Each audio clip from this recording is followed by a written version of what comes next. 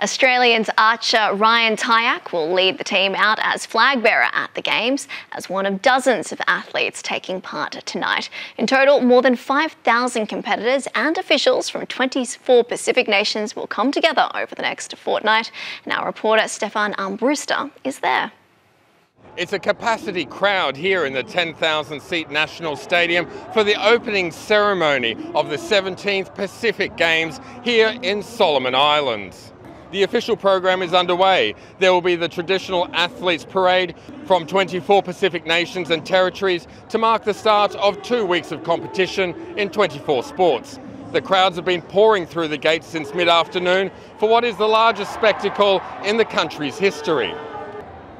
Australia is also here, participating for only the third time, sending 71 athletes to compete in eight sports.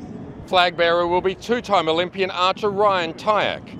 Archery is one of two sports here where the winners will get direct qualification to the Paris Olympics next year. It was amazing to be the flag bearer. Just the, to, to know that in the AOC that every sport matters is kind of what that message says to me. And, and it doesn't matter what your background or what experience you have, that everyone can, can recognise achievement no matter what sport or walk of life you come from.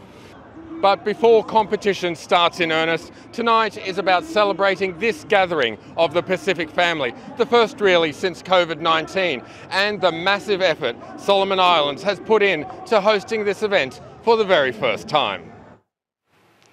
Stefan um, Armbruster with that report, which was supported by the Walkley Foundation's Sean Dorney grant. And you can watch the games live and free on SBS Viceland and SBS On Demand from tonight until the 2nd of December, with 10 hours of live sport available on SBS each day.